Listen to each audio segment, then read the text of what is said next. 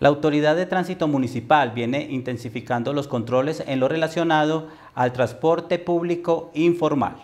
Pese a la campaña que desde el año anterior se viene adelantando sobre este tema, en el municipio de Sonsón se sigue prestando este servicio de forma irregular. En estos controles que se han estado haciendo en compañía del Ejército, Ejército Nacional y Policía Nacional, eh,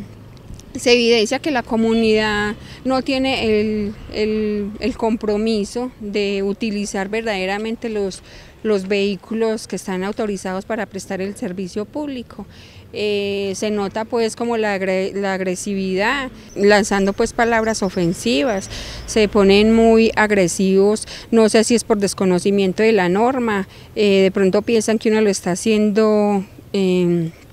como manifiestan que es que uno se está extralimitando en las funciones, que abuso de autoridad, pero es un control que está pidiendo el Ministerio de Transporte y Puertos y Transporte, entonces no veo en qué momento es la extralimitación de funciones. Y que es obvio que para nosotros identificar en qué modalidad de transporte viaja cada usuario hay que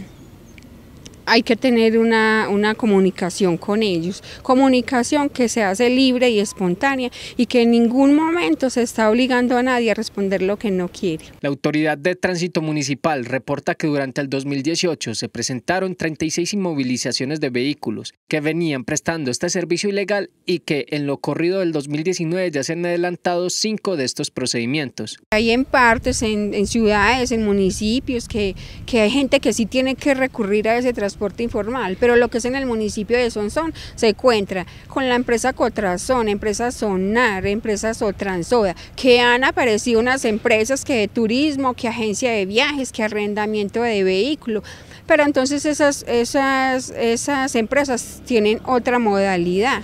Un ejemplo, la empresa de arrendamiento de vehículos es para, para, un, para su uso propio, como lo dice, en vehículos particulares. Tener en cuenta que en vehículos particulares nunca se va, se va a poder prestar un servicio público, no se puede hacer un transporte colectivo. Si dice arrendamiento de vehículos para un fin, para un fin propio, para, para su para su uso, no para empezar a hacer transporte eh, público desde ellos. Mientras eh, requieren esos vehículos que no, que no, en el momento no están habilitados para ese servicio, se